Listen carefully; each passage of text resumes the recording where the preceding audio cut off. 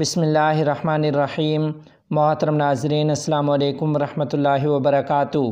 مراد آباد کے عالم دین کو خواب میں جناب رسول اللہ صلی اللہ علیہ وسلم کی زیارت شیخ الاسلام حضرت مفتی محمد تقی عثمانی صاحب دامت برکات منالیہ کے نام خصوصی پیغام۔ نحمد صلی علی رسول الکریم۔ ایک پیغام ہے اور مبارک خواب ہے۔ ہندوستان میں مراد آباد میں ایک بزرگ ہیں۔ انہیں خواب میں حضور اقدس صلی اللہ علیہ وسلم کی زیارت ہوئی اور انہوں نے اس خواب کا تذکرہ راول پنڈی کے کالم مولانا فضل الرحمان صاحب سے کیا۔ مولانا فضل الرحمان صاحب نے آ کر مجھے یہ خواب بتایا اور میں نے حضرت مولانا تقی عثمانی صاحب تک یہ مبارک خواب اور پیغام پہنچایا۔ خواب یہ ہے، ان بزرگ نے خواب میں دیکھا کہ حضور اقدس صلی اللہ علیہ وسلم کی زیارت ہوئی اور آپ صلی اللہ علیہ وسلم نے فرمایا کہ مولانا تقی عثمانی صاحب تک میرا سلام پہنچا دیں اور انہیں یہ کہیں کہ اس وقت کے وہ مجدد ہیں، اس وقت کے وہ مجدد ہیں اور فلسطین کے حوالے سے وہ بہت اچھا کام کر رہے ہیں۔ اور فلسطین والوں سے یہ کہیں کہ وہ دو کام کریں، اللہ تعالیٰ انہیں کامیابی دے گا۔ ایک تو یہ، اس جنگ کو وہ صرف اپنی علاقائی جنگ نہ سمجھیں، بلکہ امت مسلمہ کی جنگ سمجھیں۔ اور دوسری یہ کہ اس فلسطین کے جھنڈے پر کلمہ طیبہ لکھوائیں تو اللہ تعالیٰ انہیں کامیابی عطا کرے گا۔ یہ خواب راول پنڈی کے عالم مولانا فضل الرحمان صاحب نے مراد آباد کے ان بزرگ کا مجھ تک پہنچایا اور پھر میں نے حضرت مولانا تقی عثمانی صاحب دامت برکاتم تک یہ خواب پہنچا دیا۔ قاضی عبدالرشید، السلام نائب محتمم دارالعلوم دیوبند حضرت مولانا عبدالخالق مدراسی دامت برکات منالیہ کے لیے دعائے صحت کی اپیل۔ تفصیلات کے مطابق ہر دل عزیز شخصیت حضرت مولانا عبدالخالق صاحب مدراسی دامت برکات منالیہ، نائب محتمم دارالعلوم دیوبند کے کان میں تکلیف کی وجہ سے ڈاکٹروں نے آپریشن تجویز کیا ہے۔ آج شام مورخہ پانچ ذی الحجہ چودہ سو پنتالیس ہجری مطابق بارہ جون دو ہزار چوبیس عیسوی بروز بدھ حضرت دامت برکات منالیہ ہسپتال میں داخل ہو رہے ہیں اور کل انشاءاللہ آپریشن ہوگا۔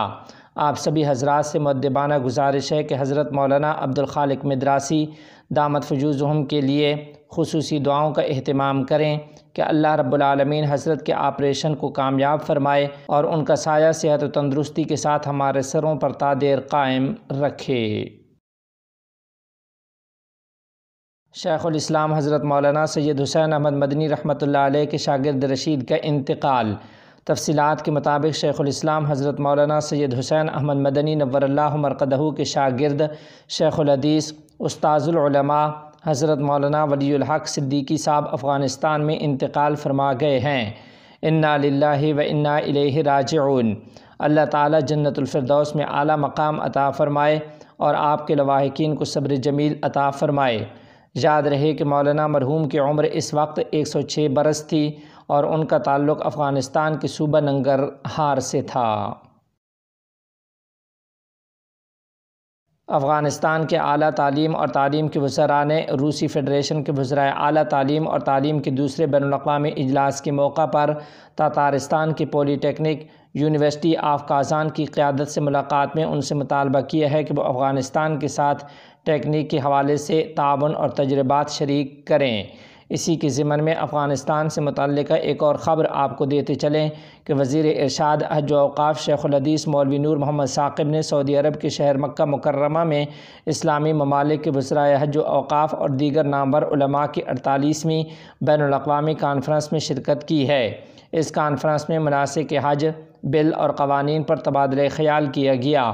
ادھر وزارت ارشاد حج و اوقاف کے حکام نے سعودی عرب میں ضیوف البیت فاؤنڈیشن کے حکام سے بھی ملاقات کی ہے۔ اس ملاقات میں افغان حجاج کو بہتر خدمات کی فراہمی کے حوالے سے تبادلہ خیال کیا گیا۔ ضیوف البیت فاؤنڈیشن سعودی شاہی حکومت کے ماتحت رہتے ہوئے حج کے موسم میں عازمین کو ضروری خدمات فراہم کرتی ہے۔ عید الاضحیٰ پر چار چھٹیوں کا اعلان کر دیا گیا۔ تفصیلات کے مطابق امارت اسلامی افغانستان کی ministry of labour and social affairs نے یوم عرفہ اور عید الاضحیٰ کے موقع پر سرکاری کیلنڈر کے مطابق ملک بھر میں چار روزہ تعطیلات کا اعلان کر دیا ہے۔ سلامتی کونسل نے جنگ بندی کی قرارداد منظور کر لی۔ حماس کا خیر مقدم تفصیلات کے مطابق اقوام متحدہ کی سلامتی کونسل نے پیر کو حماس اور اسرائیل کے درمیان غزہ میں امریکہ کی طرف سے پیش کردہ امن معاہدے کی منظوری دے دی ہے۔ حماس نے بھی اقوام متحدہ کے اس فیصلے کا خیر مقدم کیا ہے اور ایک خبرنامہ شائع کرتے ہوئے کہا ہے کہ وہ اس بارے میں بات کرنے کے لیے تیار ہیں۔ سلامتی کونسل میں اس قرارداد کو کل چودہ مثبت ووٹوں اور ایک غیر حاضر روس کے ساتھ منظور کیا گیا ہے۔